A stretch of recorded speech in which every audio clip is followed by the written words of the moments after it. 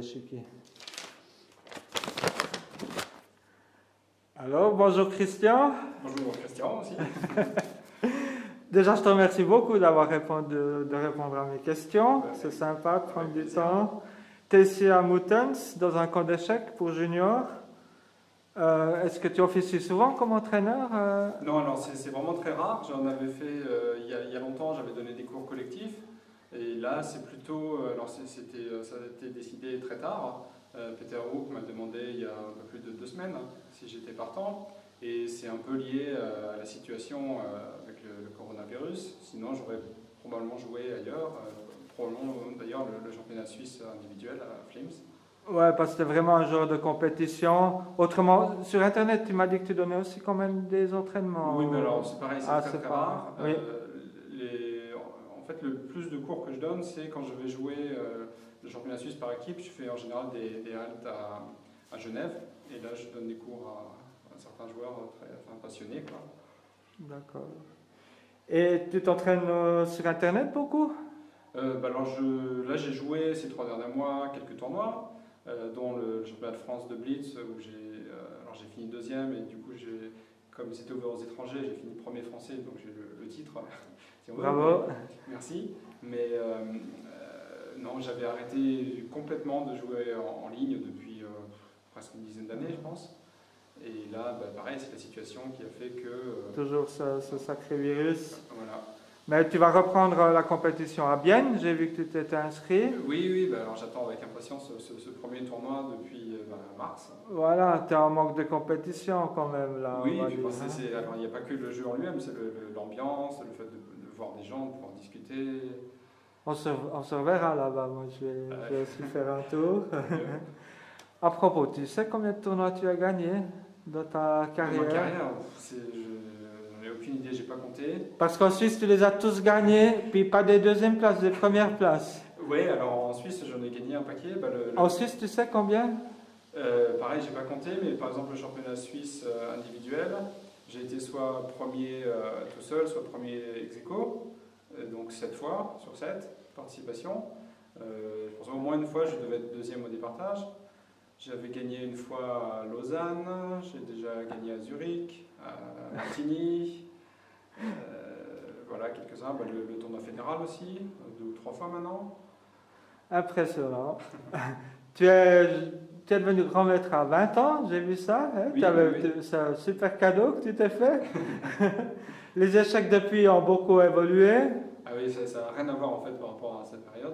Ah, d'accord. Hein. alors, bah, de- Oui, l'ordinateur. voilà, l'ordinateur. Et de mon point de vue, euh, il y a trop d'informations. Et euh, alors, d'un côté, euh, c'est difficile de trier cette information. Donc, les gens sont un peu noyés hein, sous l'information. D'un autre côté, ça m'embête, moi, de, de- enfin, qui- qui- que tout ça soit disponible. Et euh, j'ai vraiment du mal, par exemple, à faire la différence entre des, des- des amateurs qui ont déjà un bon niveau, dans les, les 12 et des fois 15 premiers coups, euh, la position reste égale. Oui, ce qui n'était pas le cas il y a 20 C'était ans. pas ouais. le cas du Ouais. tout il y a 20 ans. hein. Voilà. On est d'accord. En tout cas, c'est un super cadeau que tu t'es fait à 20 ans. Amy à 16 ans. Oui, oui, oui. Alors au début, il n'y avait pas tant d'occasions que ça. On ne pouvait pas jouer euh, comme on voulait partout, comme maintenant. Et du coup, j'avais fait euh, mes normes. Alors euh, au début, EMI à, Budapest. Et ensuite, dans championnat de France. Et le titre de grand maître, en fait, c'est que des, normes réalisées dans le championnat de France individuel. Et une petite dernière question. Tu joues, comme je l'ai dit souvent en Suisse, est-ce que tu as des amis, des grands maîtres? Est-ce que tu, les fréquentes?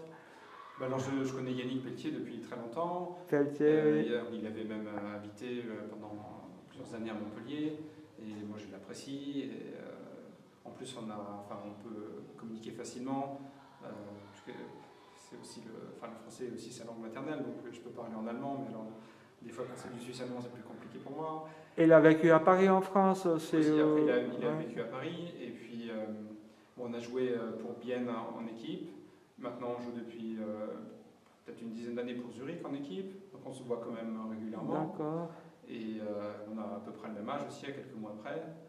Et euh, voilà, donc avec lui, il y a une affinité, disons, qui est liée à beaucoup de facteurs. Et les petits nouveaux, Georgiadis, Souter, des, des jeunes grands Studer, maîtres Studer, Studer. Studer, Ouais. Studer. Ben, disons que voilà, là c'est. C'est la barrière de la langue aussi. Pas la barrière de la langue parce qu'on peut très bien parler en allemand, mais là j'ai forcément moins d'affinité parce qu'on n'a pas le même âge et je les ai, on n'a pas joué dans les mêmes équipes. Enfin, j'ai joué 2-3 ans avec Noël à. Lui, il a joué 2-3 ans à Zurich, mais disons, il y, a, il y, a, moins de points communs forcément. Après, bah, justement par rapport à Noël, il a fait beaucoup de progrès récemment. Oui. en un an et demi, il est monté très haut, et bah, tant mieux pour lui. Euh, je suis un peu surpris, mais positivement surpris, parce qu'à un moment, il stagnait un peu. Et voilà, et euh, Nico est aussi un très très bon joueur. Ok. Alors on a une bonne relève en Suisse, après Pelletier. Oui. Merci d'avoir pris ce petit temps avec moi, et on se reverra à Vienne. Super. Bah, super. Merci surtout pour mes abonnés. ah, comme ça. Voilà. ok, génial, merci.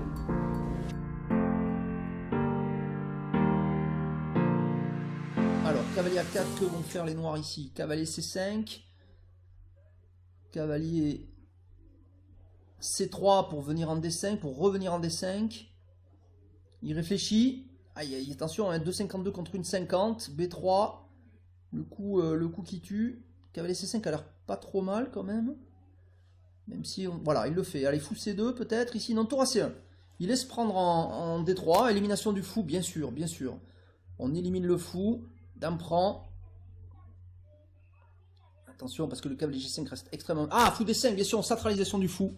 Bien vu, puisque ça défend la case sensible 6, là, ici, pour le fou. Euh, le fou défend la, case 6. Et forcément, ça change tout. Et après 60 coups, c'est 2 secondes par coup, c'est pas 3.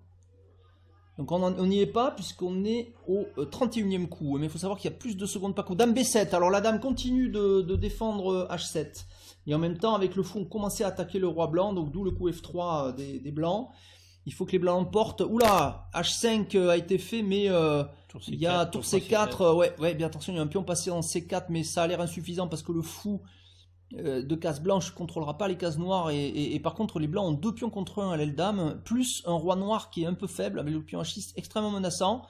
La position est extrêmement délicate. Ah oui dame F8 pour éliminer le pion H6 menaçant ça c'est très important sans doute pour pouvoir attention parce qu'il y a le cavalier qui peut prendre en G5 aussi. Ah mais il prend pas il prend pas il vient en F2 ça c'est étonnant, ça je suis très étonné par ce... Ah si bien sûr, sur dame prend H6 bien sûr il y a cavalier G4 avec un gros cavalier qui vient peut-être en F6 il faut que les noirs ici maintenant enlèvent la dame de l'attaque. Euh, voilà, ça y est, dame est fuite. Cavalier F6, échec, roi G7.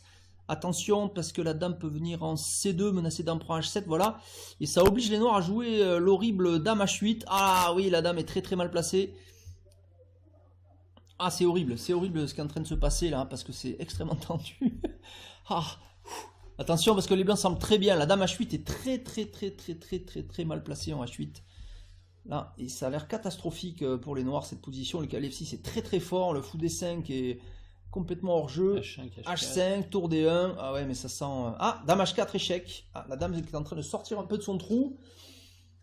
Attention. Ah, il a l'air d'hésiter, Laurent Paoli, là. 1,26 contre 54 secondes.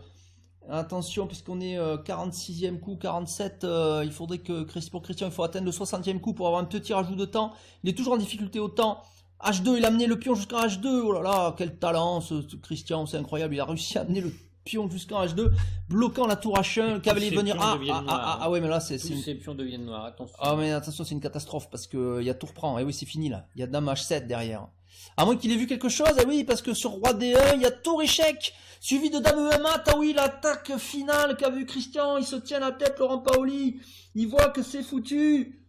Incroyable combinaison finale, c'est Houdini, je vous l'ai dit, ce, Christian Bauer, échec au roi, et le roi n'a pas d'autre choix que de venir en D1, et sur tour D8 échec, suivi de roi C1, la dame vient asséner un mat en E1, incroyable retournement de situation, et, et oui, victoire finale de Christian Bauer, sur le fil dans une partie, mais alors extraordinaire, il s'est passé un truc... Euh, Oh là là là là, qu'est-ce qui s'est passé dans cette fin de partie? Eh bien, on aura peut-être la chance, on aura la chance bien sûr, euh, on aura la chance d'avoir Christian Bauer au studio pour venir commenter cette victoire décisive. Et enfin, enfin Christian Bauer qui l'emporte sur ce circuit d'Aconal TV et dans quelles circonstances extraordinaires, il nous fait une Houdini, Une double Houdini avec un retour euh, dans la finale en égalité. Et là derrière, une combinaison de maths extraordinaire, sortie d'on ne sait où. C'est vraiment extra. Alors qu'on attend euh, Christian, bien sûr, au studio, mais il est en train de discuter un peu de sa partie avec son adversaire. Il faudrait que, Avec son élève, ouais.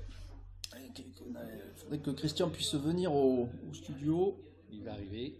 Non, il va pas arriver.